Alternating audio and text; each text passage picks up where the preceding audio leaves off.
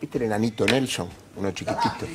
Sí, que lo trajo Susana. Lo creo que falleció. No. Falleció. Sí, sí, sí, Pero alguien se lo puede contar a la familia. En un boliche, estábamos en Crobar, Sí, lo llevaba al muy cielo. cerquita. Lo llevaban. lo Sí. llevaban. ¿Saliste Diego. con Nelson? No, yo te voy a explicar lo que pasó. Por eso quiero disculparme por Que no era Crobar en ese momento. ¿Cuándo No, falleció? no era Crobar, era, Era el News. el New Café. Sí. Perfecto, en Buenos Aires.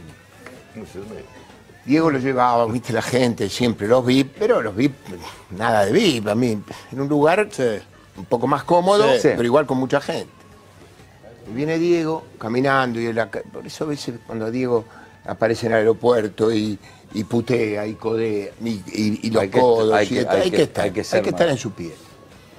Mira, viene Diego entrando, yo ya había entrado, estaba sentado en la mesa, y le ponen al, enano, al enanito Nelson, que lo quería saludar. Y se lo ponen así. Ah, Se lo tiran brazos. encima. Y Diego no sabía lo que le ponía, porque era una cosita muy chiquita. No lo conocía personalmente. Hizo así No. y tiró al enanito. ¿A dónde lo tiró? Yo nunca fui un buen ¿Lo arquero. atajaste vos? Sí, nunca fui un buen arquero. Atajaste. Lo contuve, Pobrecito. pero le golpeé un poquito la cabeza. No. Y sí, me fue un poquito la mano, ¿entendés? Pobrecito. Lo agarré pobrecito el enanito. No sabés lo ¿No feliz se que- quejó? No, lo dejamos con nosotros después de la Claro, noche. Pues siguió claro. muy travieso. ¿En serio? El enanito, ¿eh? Eh. Quería hacer lo mismo que hacíamos No, nosotros. no, no. No podía. No, no. El corazón del más Sí, chiquito. sí. Era no, Era imposible, Vos, pero Qué lindo. Todo lo que tenía chiquito tenía algo más desarrollado. Lindo. F40. Ahí está, contame esta Ferrari. No, esto es lo máximo, esto es cuento lindo. ¿eh? A ver, a ver. Mundial 86. Se va Diego para los partidos previos. Yo me quedo dos días en Nápoles, arreglando siempre alguna cosita que había que arreglar. Ese tiempo había una pesada. Sacar- bueno, no importa. Temitas. Bueno, resulta que se va, lo llevo a Roma con la Ferrari y la testa rosa. Guille, sí, ¿me compras una Ferrari? Si tenemos esta. Estás loco, esta la usás siempre vos. Nunca me la dejas usar. Digo, si es tuya, ¿cómo no te la dejo usar? Es tuya, vos porque no salís, Nápoles. No, no, comprá, hay una F40, va a salir, que eh, hacen 40 unidades, ahí estoy hablando con, el- con Careca, hacen 40 unidades nada más y, y, y quiero una.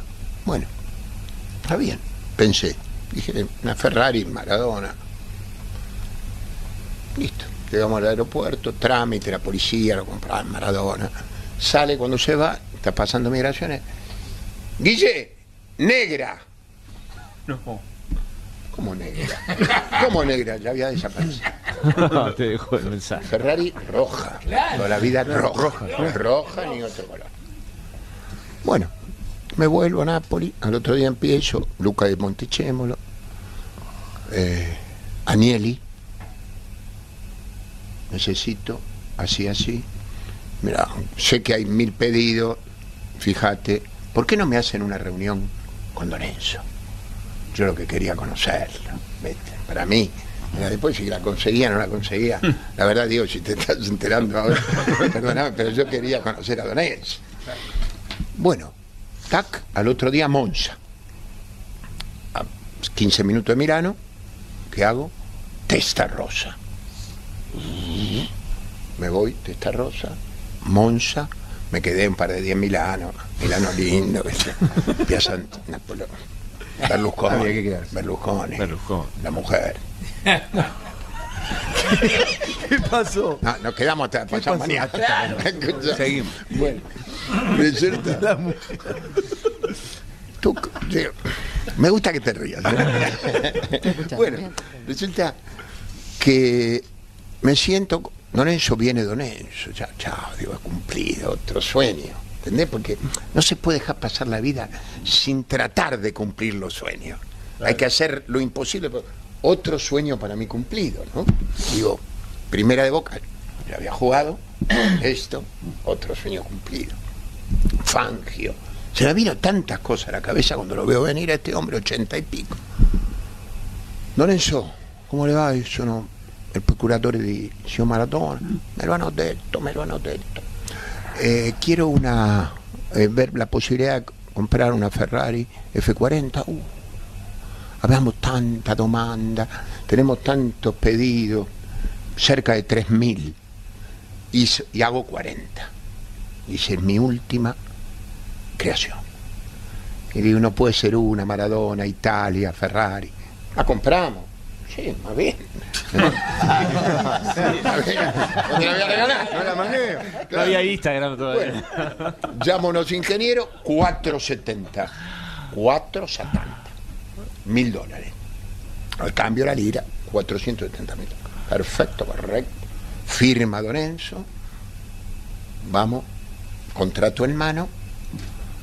Me pido la foto, me saco la foto. Se va Don Enzo. Y le digo, un piacere in più, ingeniero. Cosa? Diego la bolenera. Nera! Nera non esiste! Non esiste proprio Nera! Ma come? Non esiste! Mai Ferrari pinturerà una macchina che non fosse rossa! Nunca Ferrari pintará. Hoy hay verde, gris, amarillo, azul. Guarda, Diego. Diego. Llama a los ingenieros otra vez, yo agarro bien el contrato, digo, esto no me lo sacan. ¿eh? Ma guarda, questi signore, eh, vuole la macchina nera. No, don Enzo, pregunté, le dije lo que quería Diego, no se haga problema, nessun problema. Io la porto, la prendo, la porto da Peppe. Ma chi è Peppe? Un pinturatore di Napoli. Migliore pinturatore di macchina di Napoli. Ma che lei va a pinturare nera? Sì, perché Diego la vuole nera. No, no. Diego la vuole nera.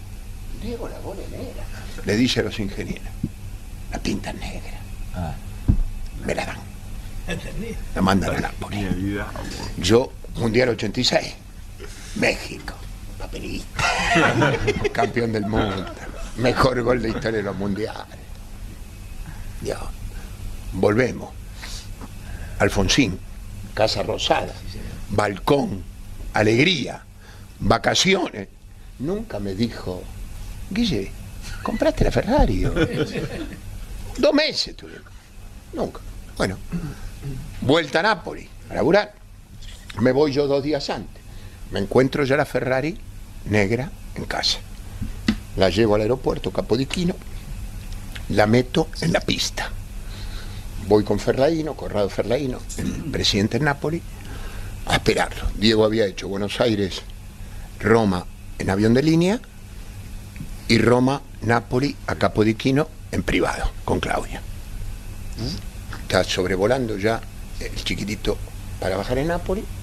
Ferlaino me dice, qué bella macchina. Sí, di Diego. Nuova, la F40. Presidente, ¿por qué no se la regala? Nah, qué crack. ¿La come? Sí, regálesela. Diego no le daba bola, no lo saludaba, no, no, no sabía que existía. Agarra y dice, ma come? Una... Piénselo, Ferlaino. 470. No. Ma quanto costa? 8,70 8,70 Ma come 8? Mai Mai pagare per una questione di onore, di pensamento e pensiero una macchina 870 mil dólares. Mai. Presidente, le llega. Campeón del mundo. Mejor jugador del mundo. Lo tiene usted en su equipo. No le da bola. No lo saluda. Créame que usted le digo, se la regaló, lo abraza, lo besa y le dice que lo quiere. Y no me daba la mano. Y yo se le estiraba. Te, te daba la mano y era un contrato, era un contrato. Le daba- la- Me dice 870. No. Un milione di dollari. Come un milione? 870? No, più 130 de la pinturata negra.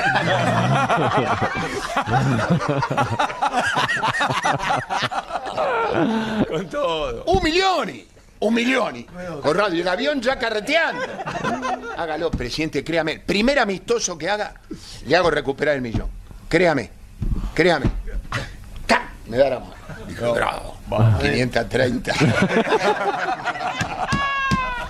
bueno, se abre la puerta del avión. Diego la ve, se tira de paloma. Terrible. No, Guille, no. No, Guille no. Corrado. Te la acaba de regalar el presidente. ¡Caro presidente! Lo abraza, lo besa. ¡Qué grande el presidente, la máquina que io voleva! ¡Grande Pres! Bien, con Ferraino contento, le dije, te lo dije, Corrado. ¿eh? Vení, Guille, vení, vamos al auto. Brum, brum, brum. Uh, ¡Qué buena, Guille! Ferrari negra. Tapizado blanco, todo como quería, Diego. Está todo como quería. La pagué 4.70 y se la cobré un palo. 530, ¿está claro? Sí, Comprate una, no, si ya tengo la otra. Me quedo con los 530. Si quédate con lo que quiera, ¿qué me importa? Mira el auto que tengo. No tiene estéreo.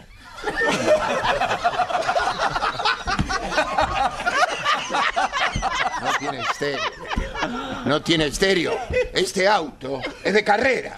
Diego, no vas escuchando Ricky Martin en el, en el estéreo. Pero tú. No, pero déjame joder. Esta que te voy a contar ahora fue un golpe duro al bolsillo. Partido homenaje, cierre del 2000. Sí. Perfecto. Cancha de boca. Cancha de La pelota no se mancha. La pelota. Sí, adelante. Yo me equivoqué y pagué. Claro. Frases célebres. Tenemos una noche intensa previa al partido. A las 2 de la mañana me golpean la puerta de la habitación. Las hermanas Hilton pidiéndome que me vaya. ¿Por qué? Usted y Maradona los queremos fuera del hotel. ¿Qué pasó? Mire qué pasó. Salgo al pasillo, me acuerdo en toallón, estaba todo el hotel pintado. Paintball. Paintball. Diego tenía el paintball.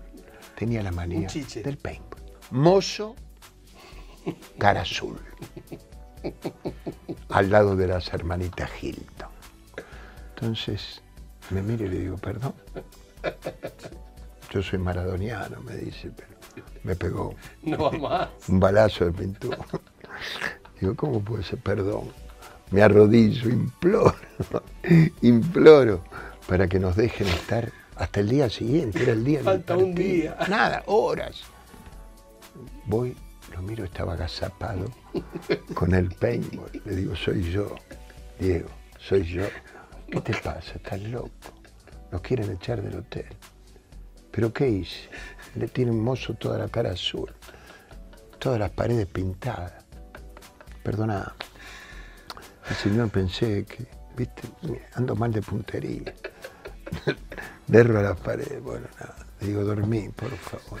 Bueno, pedí, imploré, me acuerdo que di una tarjeta de crédito platino que tenía. Después me la sacaron. crédito. Después me la sacaron. Sí. Me la sacaron. Una tarjeta americana para cubrir los gastos que fueron importantes. Muy importante. Así me voy a la cancha. Tenso. Con eso, tenso, la noche, el, El hotel, la tarjeta de crédito, el mozo con la cara azul. Así me voy, a vivir esa fiesta inolvidable. Vivimos la fiesta, la cena, pero tenía el ultimátum de las chicas del hotel, de la dueña. Cinco y media de la mañana había arreglado con un publicista amigo, Ernesto Sabaglio, nos llevaba a su campo por Pilar. Me quedo hasta las 10 de la mañana Sí. me vuelvo con Sabaglio para el centro. Once y media de la mañana, o sea, a los 15 minutos que me dejó, Sabaglio en casa me llama. Me dice, quiero que te lleves a Diego del Campo. Le llamó el casero. Claro. Están todas las vacas pintadas.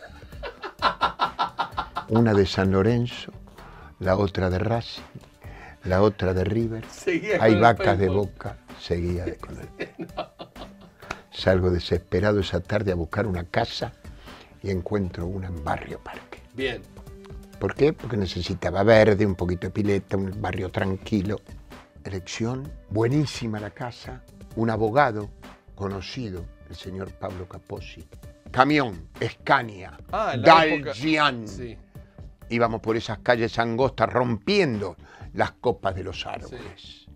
Y la noche, y la noche era el festival de los fuegos artificiales. Dejó el paintball, agarró los fuegos. Agarró los fuegos.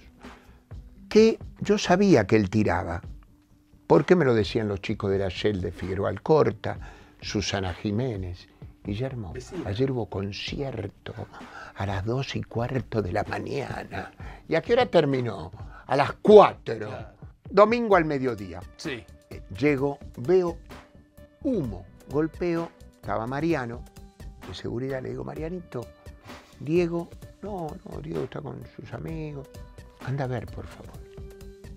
Abre la puerta, yo de abajo, llama, impresionante llama, y sale Pelé, no era Maradona, uno negro. Las llamas, shhh, la casa se incendiaba. Me siento en un cordón de la vereda, llegan los bomberos, y le digo al jefe bombero, por favor, señor, trate de salvar lo que pueda. Tranquilo, tranquilo. El fuego sale. Claro, Me dio complicado. tranquilidad, pero yo estaba destruido. Cuando ya parecía que todo terminaba, ¡brum! empiezan a explotar fuegos, fuegos y fuegos. No. Sí, tenía un depósito No, no, de no. fuegos artificiales. ¿Dónde los tenía? En el garage. La casa destruida. La gente evacuada. 8 de la noche. Voy a casa. Diego jugando al backgammon. Vos desesperado. Yo me quería. Llamo a Capozzi.